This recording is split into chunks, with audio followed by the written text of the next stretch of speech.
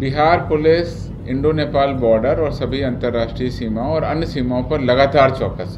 पिछली बार हम लोगों ने विस्तृत रूप से आपको बताया था किस देश के कितने नागरिक, मैंने राष्ट्रवार देश के कितने नागरिक, किस आरोप में, कब कब पकड़े। जिस खास नाम पर आपने चर्चा की है, वो संभवतः किसी अन्य राज्य का मामला है, वो बिहार का मामला नहीं लगता। पाकिस्तानी प्रेमिका, सीमा हैदर का विवाद।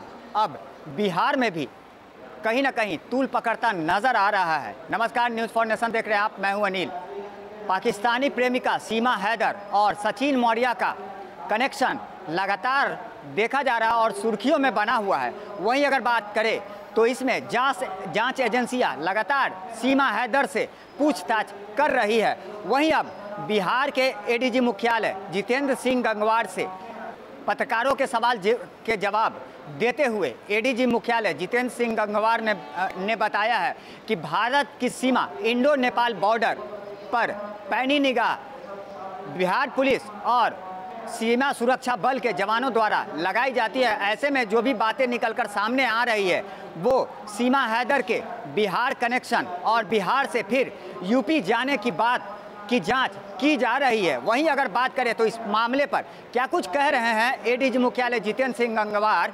आइए सीधे सुनवाते हैं आपको। Bihar police, Indo Nepal border और सभी अंतर्राष्ट्रीय सीमाओं और अन्य सीमाओं पर लगातार चौकस। पिछली बार हम लोगों ने विस्तृत रूप से आपको बताया था किस देश के कितने नागरिक। मैंने राष्ट्रवाद, देश के कितने नागरिक किस आरोप में कब कब पकड़े पूरा डिटेल हमने आंकड़ा दिया था। कुछ लोग पासपोर्ट के वायलेशन में, कुछ लोग वीज़ा के वायलेशन में, कुछ लोग अवैध तस्करी करते हुए और कुछ लोग शराब के कांड में पकड़े गए थे, किस देश के पकड़े गए थे। पूरा डिटेल हमने आपको आंकड़ा दिया था। और उसके आधार पर लगातार हम लोग चौकस हैं, लगातार कार्रवाई की जा रही है। जैसा कि आप लोगों को पता है, सीमावर्ती क्षेत्रों में केंद्रीय पुलिस बल तैनात हैं और उनको भी पुलिसिंग का दायित्व दिया गया है। उसके अलावा बॉर्डर के सीमावर्ती थानों, सीमावर्ती जिलों के पुलिस अधीक्षकों की नेपाल और भारत के जो सीमावर्ती एसपी और डीएम हैं, उनकी भी लगातार बैठकें होती हैं। परफेक्ट कोऑर्डिनेशन है। हम लोग बॉर्डर पर लगातार कार्रवाई करते हैं। जिस खास नाम पर आपने चर्चा की है, वो संभवतः किसी अन्य राज्य का मामला है।